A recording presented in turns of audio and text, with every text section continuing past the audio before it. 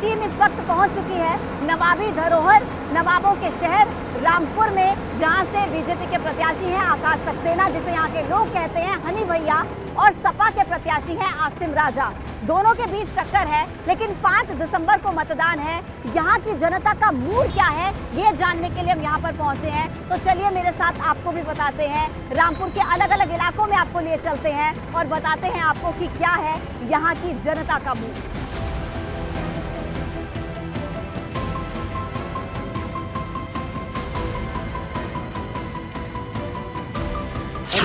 उन्नीस के बाद आज पहली बार ऐसी उम्मीद जगी है कि यहाँ से भाजपा जीत सकती है।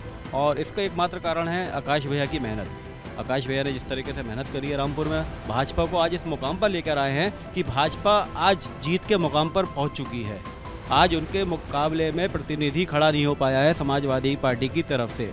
और आप लगातार देख रहे हैं जिस तरीके से समाजवादी के लोग पार्टी से जुड़ रहे हैं। मान हमारे यशस्वी मुख्यमंत्री श्री योगी आदित्यनाथ जी के कार्यों को देखकर हमारे देश के प्रधानमंत्री जी की नीतियों को देखकर आज हर वर्ग का व्यक्ति चाहे मुस्लिम हो सिख हो हर व्यक्ति आज भाजपा से जुड़ने के लिए सुरक्षा को लेकर बदलाव आया है। जब निकलती हैं रात को घर से बाहर तो सुरक्षित महसूस करती हैं? हाँ हाँ हाँ। तो लग रहा है इस बार बदलाव होगा? हाँ इस बार बदलाव होगा। तो इस बार क्या लग रहा है? मूड यहाँ के लोगों का किस तरफ़ है? बीजेपी? म- इतने सालों में तो कभी ऐसा नहीं हुआ कि यहाँ से इतिहास बदला हो आज़म खान दस बार विधायक यहाँ पर रहे इस बार कैसे? आज़म खान का वो तो खत्म हो गया ना इसलिए। भाजपा की तरफ़ हैगा। हमारे देश के प्रधानमंत्री नरेंद्र मोदी बहुत अच्छा काम कर रहा है। अच्छा। तो हाँ। अभी इतने सालों में हमने देखा बदलाव तो यहाँ पर नहीं हुआ था? हुआ है काफ़ी बदलाव हुआ है।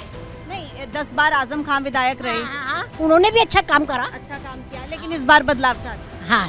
नहीं बदलाव भी चाहते हैं और हनी भैया का व्यक्तित्व बहुत ही अच्छा है और उनसे बहुत उम्मीदें हैं रामपुर बीजेपी चाहते हैं कि बीजेपी आए इससे बदलाव हुआ है रामपुर में।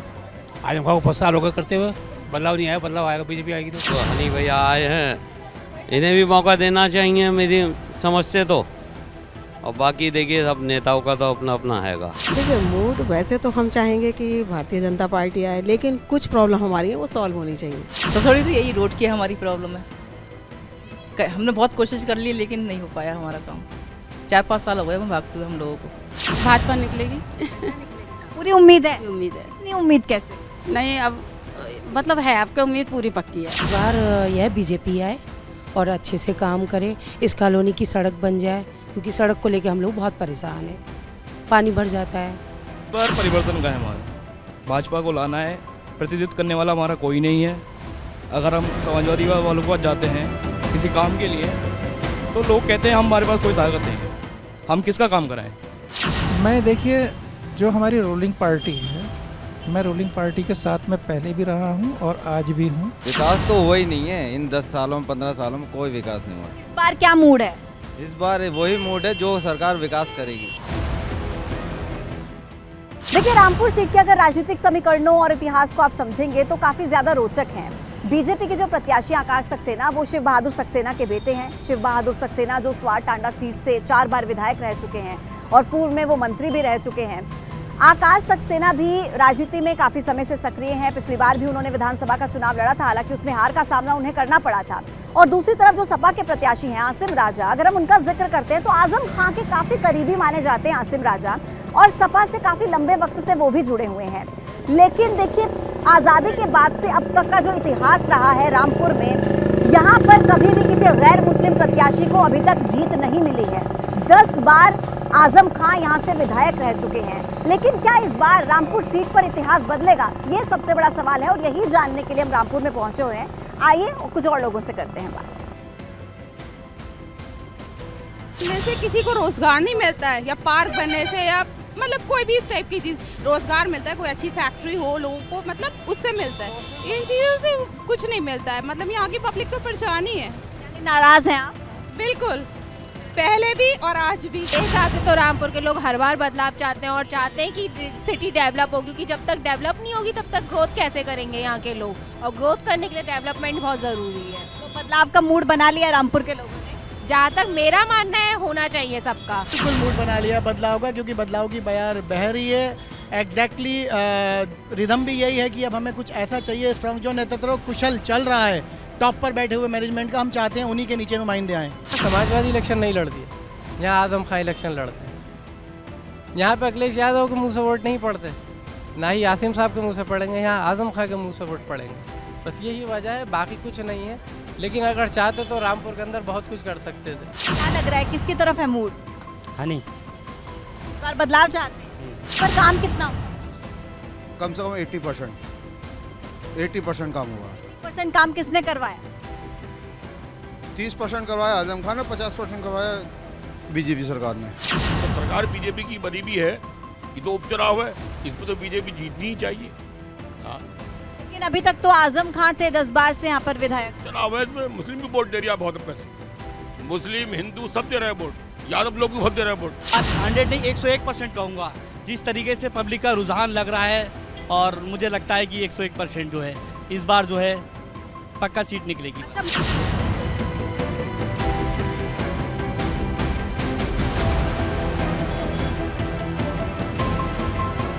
नवाबों का शहर है और लोगों के ख्याल भी आज़ाद हैं। लोग कह रहे हैं कि वोट तो केवल काम पर ही देंगे, नाम पर या चेहरे पर नहीं। लेकिन 70 साल से जो इतिहास रहा है, किसी गैर मुस्लिम को यहाँ से विधायक चुना नहीं गया। क्या इस बार वो इतिहास बदल पाएगा? ये तो 8 दिसंबर को पता चलेगा जब नतीजे आएँगे। लेकिन फ़िलहाल आपको मैनपुरी की किशनी सीट पर लिए चलते हैं, जहाँ पर मेरी सहयोगी गुंजन मौजूद है। वो आपको बताएँगी कि वहाँ पर क्या है जनता का वोट।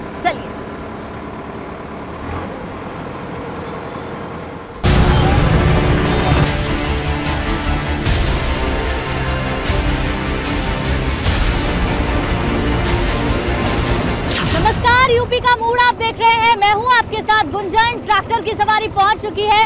मैनपुरी की किशनी विधानसभा सीट पर यहाँ की जनता के मूड को समझने के लिए। ये वो विधानसभा सीट है जहाँ पर 27 साल से समाजवादी पार्टी ही जीत दर्ज करती आ रही है।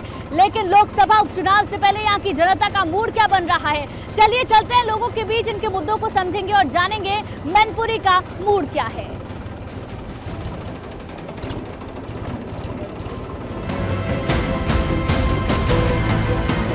मैनपुरी का मूड सपा के ही पक्ष में जाएगा। ऐसा क्यों? नेताजी की वजह से मुलायम सिंह की वजह से। मैनपुरी में उपचुनाव है ना? सपा जीतती चली आई सपा तो सपा जीत रही है। हमेशा जीती है इतने बड़े हो गए हम सपा सपा जीती है। मैनपुरी में साइकिल सपा सपा चल रही है आगे। सपा दौड़ेगी? सपा दौड़ेगी साइकिल दौड़ेगी। वजह क्या है? वजह कि आप डिम्पल आगे जीतेंगे। और करीब करीब हाँ एक लाख वोटों से जीतेंगे। लगभग हाँ। मैनपुरी में क्या बनेगा? अब देखो तो हमारी समझ में टक्कर लड़ाई है। दुर्विरोध होगी और है भी ऐतिहासिक जीत होगी डिम्पल भाभी की। ऐसा क्यों? ऐसा ही है बस हवा है ये बस। अच्छा। हाँ बिल्कुल। ये हवा समाजवादी पार्टी की चली आ रही है सालों से। हाँ यही रहेगी यही बस और कोई नहीं रहा और यहाँ तो हमेशा सपा का ही रहा। अच्छा। हाँ जो भी कार्य अभी तक कराए वो सपा ने ही कराए। और बाकी लोग इनका इतना कार्यकाल निकल गया उन्होंने कोई काम तो कराया नहीं।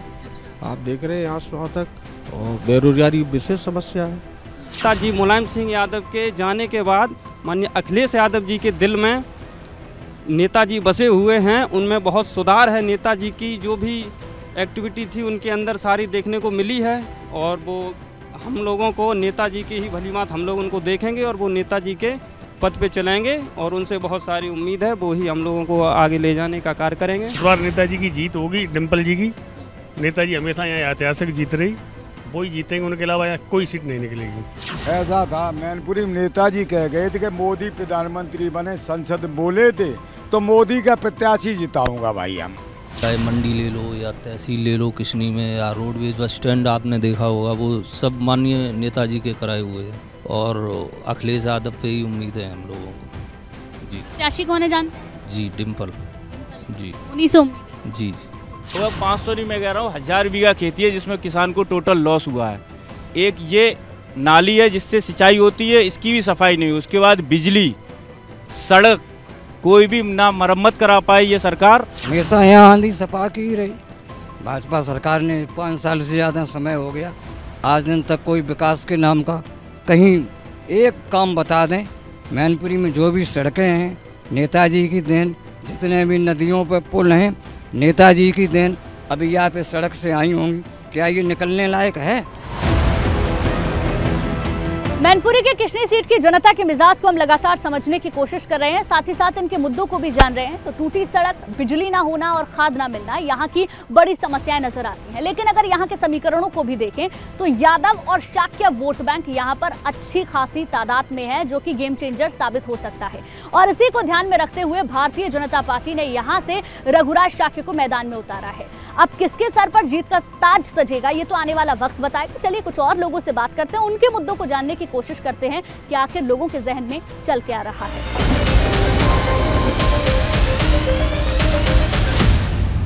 समाजवादी पार्टी ने जो पूरे उत्तर प्रदेश में गुंडी फैलाई थी और मैनपुरी को अपना गढ़ बताती है। और गढ़ में सिर्फ़ घर से ही प्रत्याशी मिलता क्या? तो मैनपुरी की जनता ये भी तो जान चुकी तुम घर का ही विकास करोगे। तो इसलिए बनता जनता बदलाव लाएगी लोकसभा में और भाई रघुराज सिंह साख जी विजयी होंगे दो लाख वोट कम से कम। बदलाव हंड्रेड परसेंट बदलाव। जी किसनी की जनता पूरे मैनपुरी की जनता सिर्फ़ बदलाव चाहती है बदलाव होके रहेगा। वजह क्या है इसकी? वजह यही है कि गुंडा राज खत्म हो रहा है परिवारवाद खत्म हो रहा है धीरे धीरे करके सब कुछ। बस जनता भाजपा को चाह रही है भाजपा आएगी। हमारे यहाँ से भी सीट भाजपा की ही निकलेगी भाई रघुराज सिंह साग ही जीतेंगे। विजय उन्हीं की होगी। वजह क्या है इसकी? वजह ये है गुंडा राज जो है सब पूरे प्रदेश में फैला रखा था इन्होंने तो सब जगह से तो ये हारे ही हैं। अब यहाँ की सीट बची है वो भी हमारी भाजपा ही जीतेगी। बीजेपी को जिताना है कमल खिलाना है। हाँ। साइकिल नहीं दौड़ानी। नहीं साइकिल नहीं दौड़ानी बिल्कुल नहीं दौड़ानी है। बस बीजेपी का कमल खिलाना है। तो इस बार बीजेपी को चांस ज़्यादा अच्छी है। चुनाव होगा तो बीजेपी जीतेगी इस बार। क्या इसकी? क्या एक बार बताओ बीजेपी ने काम किया है ना? क्या सारे काम किए एक बार बताओ पहली बात तो ये है गरीबों को राशन देना। ये किसी ने आज तक सोचा? मैनपुरी का मूड क्या लग रहा है? मैनपुरी अब की बार जो है बीजेपी में जाएगी। इस वक्त मैनपुरी का मूड डिम्पल जीतेगी। भाजपा में चल रही है बताओ। भाजपा में चल रहे हैं? अब तक सपा में थे? हाँ। अच्छा तो मन कैसे बदला? मन बंदी कार रहा होने की देख रख के। ऐसा लग रहा है कि इस बार जो है बिल्कुल कांटे की टक्कर होगी। हार जीत का अंतर बहुत ही कम रहेगा। हाँ जी। ऐसा क्यों लग रहा है? नेताजी के जाने के बाद क्या ये वजह है या कोई और वजह है? नेताजी ने भी अपनी ज़्यादातर विकास जो है ना, अपने क्षेत्र में ही करवाए हैं।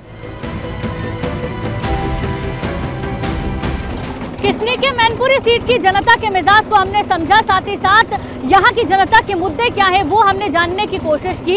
ये वो सीट है जहाँ पर मोदी लहर में भी भारतीय जनता पार्टी जीत नहीं दर्ज कर पाई थी।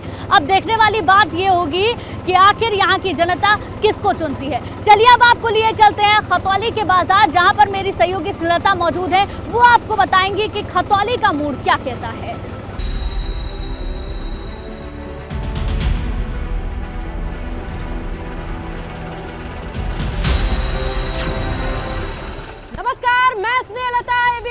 की टीम आ पहुँची है। खतौली कस्बे में बुआड़ा रोड कहा जाता है और विक्रम सिंह सैनी के दंगों के मामले में, पुराने मामले में जेल होने के बाद ये सीट खाली हुई है। उपचुनाव होने वाला है। राजनीति का अखाड़ा बना हुआ है। जनता का मूड क्या है? चलिए जानते हैं।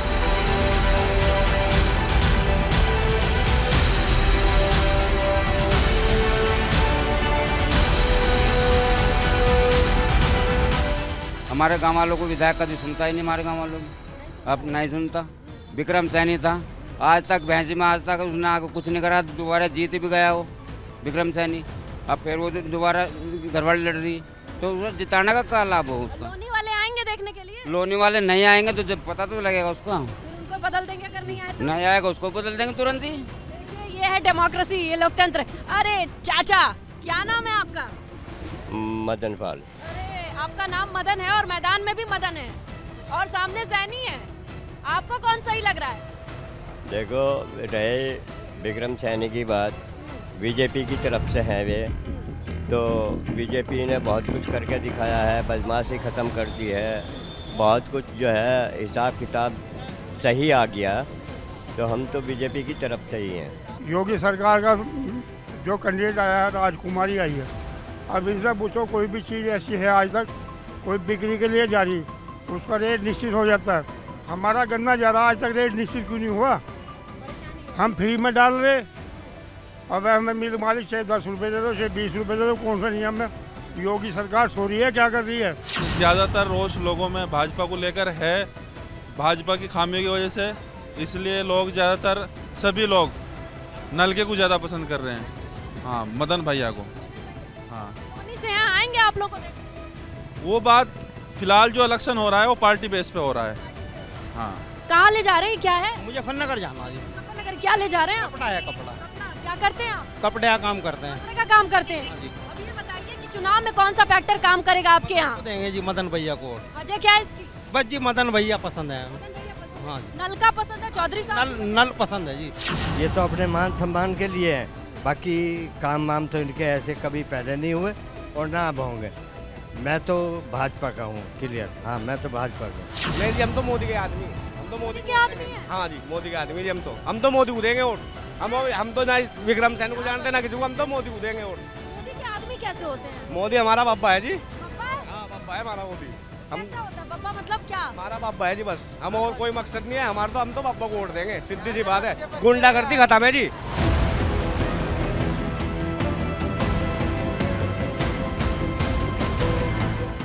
मुजफ्फरनगर में आने वाली खतौली विधानसभा सीट को आप देखें तो जाति समीकरण कुछ ऐसा है, जाट, गुजर, मुस्लिम, इस समीकरण पे काम किया जाता है, या फिर बनिया, सैनी और दलितों को साथ लेकर के चला जाता है। वैसे कोई भी इस पार्टी इस सीट पर लगातार कब्जा नहीं करती आई है। इस सीट ने सबको मौका दिया है। देखना ये होगा कि रालौद की कोशिश है 2012 वाली जीत को जीतना, जो कि समीकरण बैठा था जाट, गुजर, मुस्लिम के हिसाब से। या फिर बीजेपी अपने समीकरण के साथ आगे बढ़ जाएगी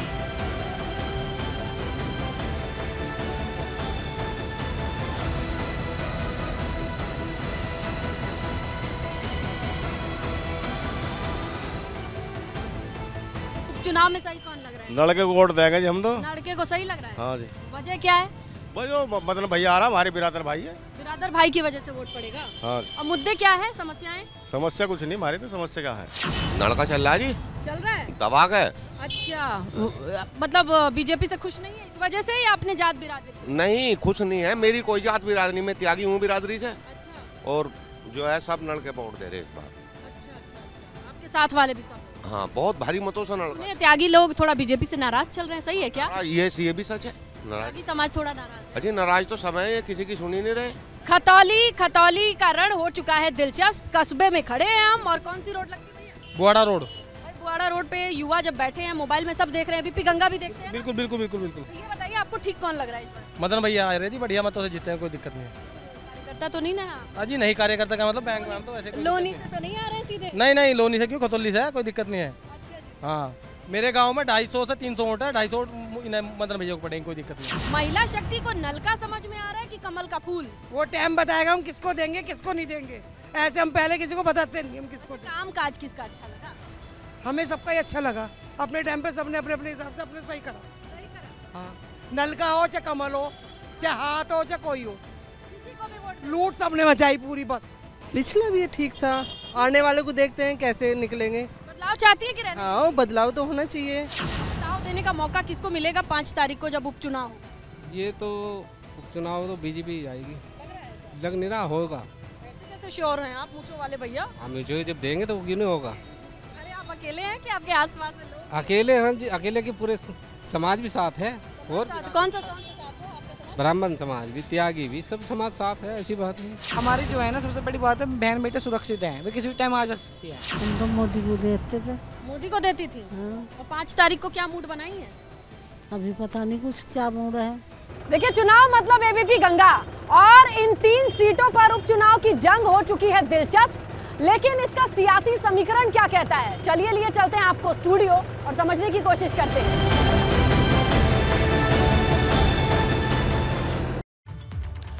तो उपचुनाव को लेकर जनता की बात आपने सुनी। अब कौन से मुद्दे चुनाव में हावी रहने वाले हैं ये भी आपको बताएँगे।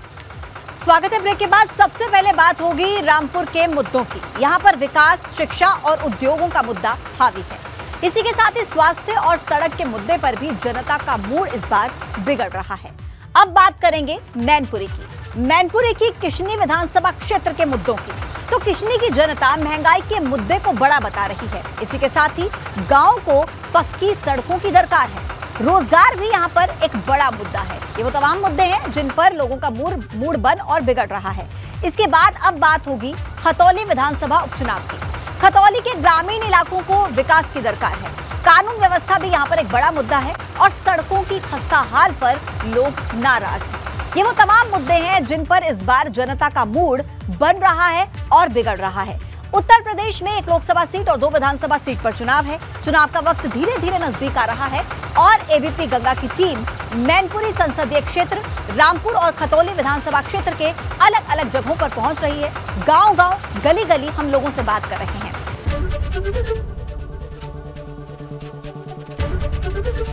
एबीपी गंगा, खबर आपकी जुबा आपकी।